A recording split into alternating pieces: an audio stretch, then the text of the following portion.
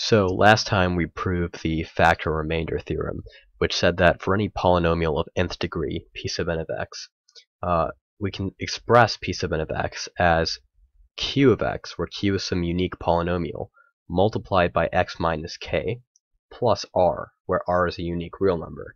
And this can be done for any k. It doesn't matter what k is, this can always be done. And only in one way, in a unique uh, way. And Today we're going to try to prove uh, Vieta's theorem. So before we prove Vieta's theorem, uh, we need to prove an important result about polynomials which will extend uh, quite naturally from the factor remainder theorem.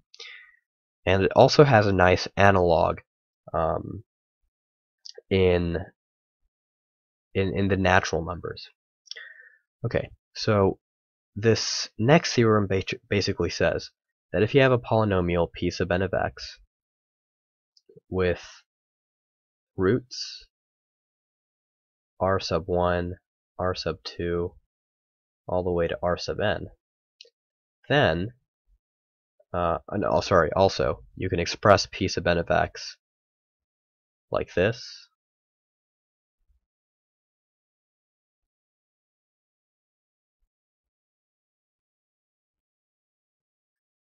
where a sub n is not zero, this is a polynomial of nth degree, then you can also express p sub n of x excuse me, as a sub n into x minus r sub 1 multiplied by x minus r sub 2 multiplied by x minus r sub 3 all the way to x minus r sub n.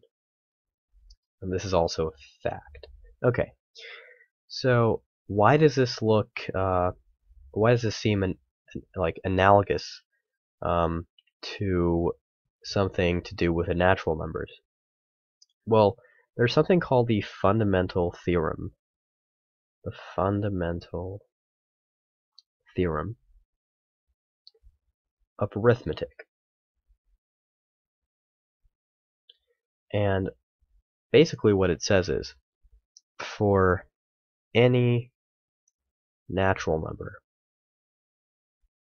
So for any natural number, um, let's say p, sorry, p is a bad choice, um, n, n can be expressed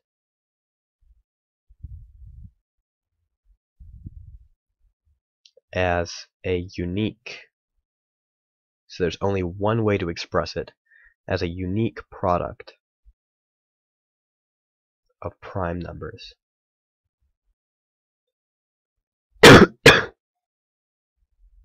and that's ignoring what's called multiplicity. So, for example, uh, 60 is equal to uh, 3 times 2 times 2 times 5 which is equal to 3 times 2 squared times 5. Uh, this is the same thing. Okay, so 3 times 2 times 2 and 3 times 2 squared are the same thing. Alright, so ignoring multiplicities, uh, all natural numbers can be written as unique product of primes. Now, why does this seem similar to uh, thing I've just written? Well, if you consider these, these monic polynomials over here, prime numbers, actually don't consider them prime numbers, consider them prime factors, or maybe something like irreducible factors. So factors that cannot be reduced further, irreducible factors. Then this seems to almost look like the fundamental theorem of arithmetic and the two are actually very similar. So that's some uh, intuition you can possibly use in understanding the theorem. So you think of these just as, as the prime factors of this polynomial. And so there's only one way to write them. We can write them as a product of prime factors. This even uh, there's even some uh, further analogy to be made about the multiplicities because you can also write p sub n of x uh, like that. And uh, so, so the theorem still holds. Sorry. well, actually, for that, that would, this would have to be a sorry, an n plus one degree polynomial. But anyway, that's besides the point. So let's try proving this. Earlier we proved the factor remainder theorem where we said p sub n of x can be written as x minus k into q of x plus r, where q of x is unique and r is unique, and this can be done for any real number k. Well, if r1 is a root of p sub n, then p sub n r1 is 0. Right? By definition, that's true. But we know by the factor remainder theorem, we can write p sub n of x as x minus r1 into q of x plus r. I've realized how bad this choice of r is for notation. So p sub n of r1 is equal to r1 minus r1 into q of x plus r, which means that r is actually also 0. But that means that p sub n of x can just be written as x minus r1 into q of x, because this r is actually 0. Alright. Now let's say r2 is also a root. Let's say r2 is also a root of p sub n. Well, then p sub n r2 is equal to 0. But if p sub n can be written like this, then that's also equal to r2 minus r1 into q of x. Now, assuming r2 is not equal to r1, this is not 0. Whoops, not q of x. I meant q of r2. And assuming, again, assuming r2 is not r1, this is not 0. But that means if this whole thing is 0, q of r2 is 0. Now again applying the factor remainder theorem, q of x is a polynomial, and if r2 is a root of q of x, q of x can be written as x minus r2 into something else. Let's call it, uh, let's say q2 of x. But that means p sub n of x, which is equal to x minus r1 into q of x, can actually be written as x minus r1 into x minus r2 into q2 of x.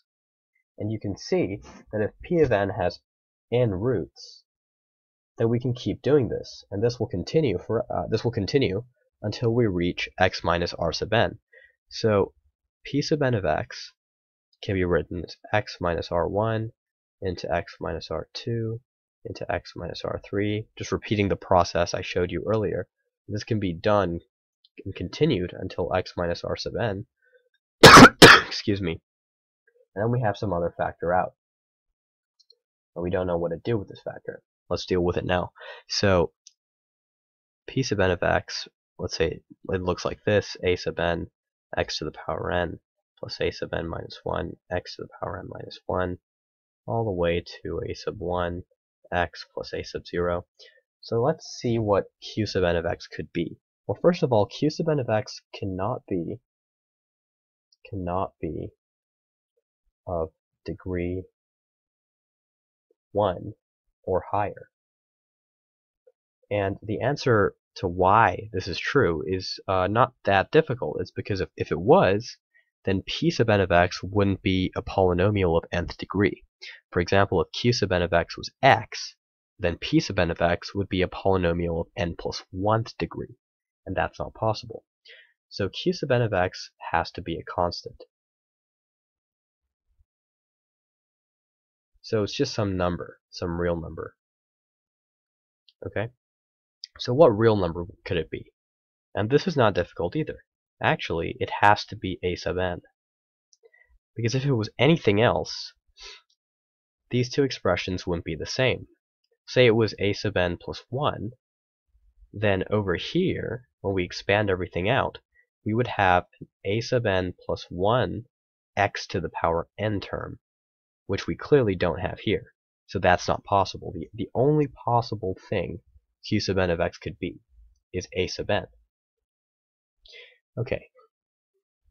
Now let's get to Vieta's theorem. How does this justify Vieta's theorem? Well, Vieta's theorem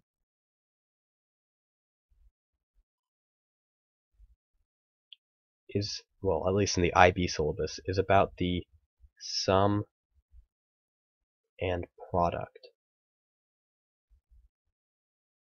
of the roots of a polynomial. And it's actually quite simple from here. It's, it's very simple to derive. So suppose p sub n of x is equal to a sub n of x to the power n plus a sub n minus 1 to x to the power n minus 1 all the way to a sub 1 of x plus a sub 0 and it has n roots r1, r2 all the way to rn which means we've just proved that it can be written like this.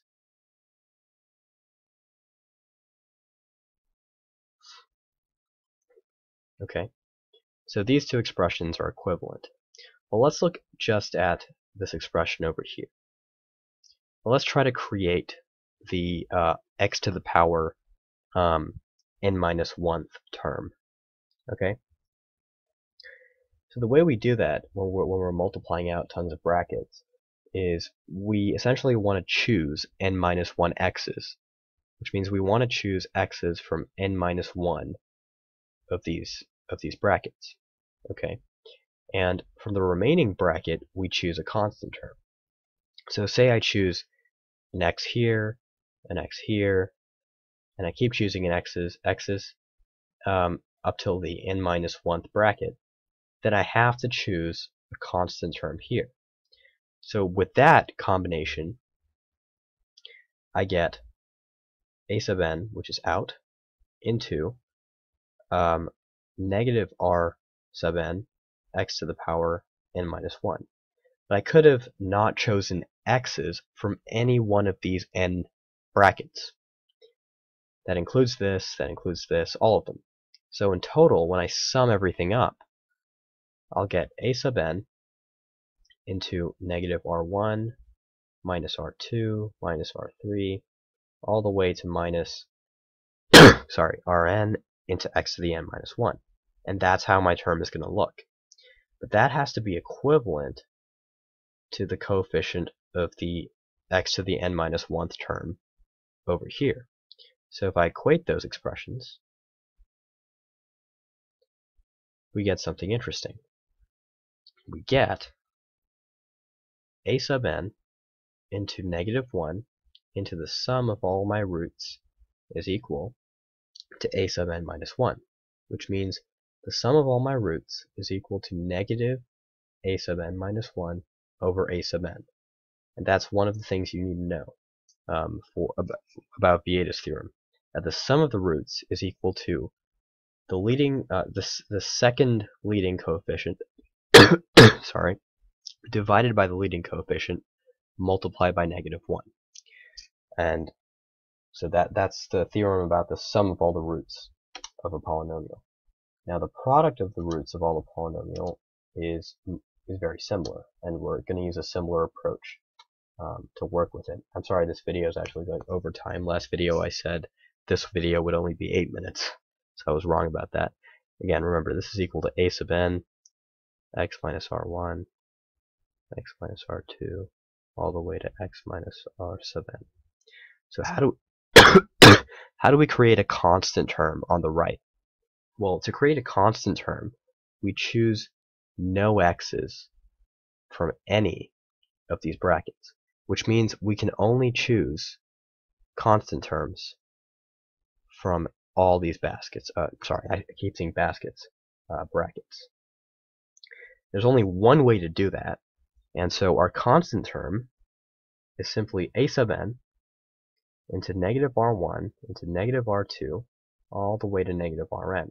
That's got to equal the constant term on the expression um, in the expression on the left, which is equal to a sub 0.